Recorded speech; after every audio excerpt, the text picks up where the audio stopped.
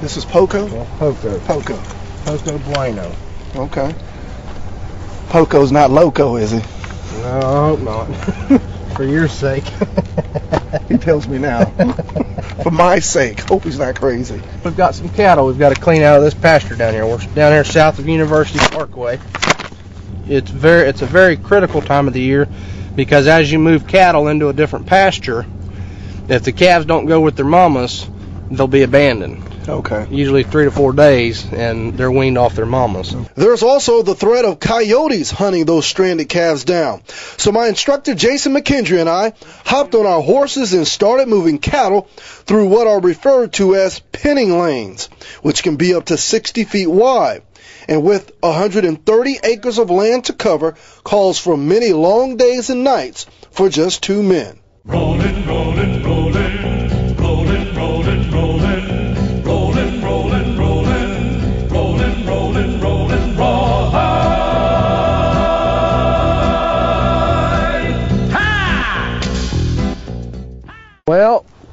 it's not a nine to five job, as you can see.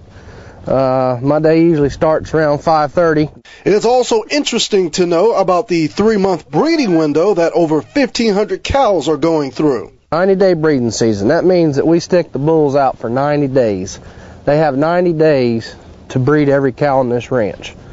Uh, as you asked me earlier, we do one bull to every 25, 25 cows.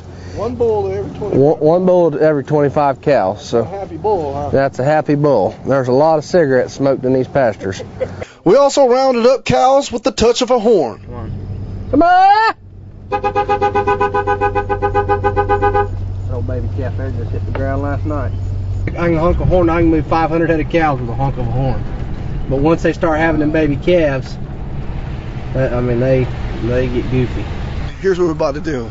We're about to uh, deal with 750 pound rolls of baled hay.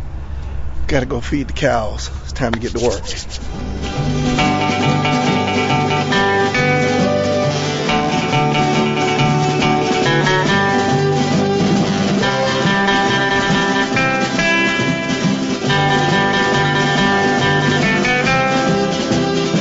Seven hundred and fifty pounds. Heaven! One day's work. I thought we were going to see another Biggest Loser segment. And this is all a day's work of being a cowboy. Lasso up, we're done.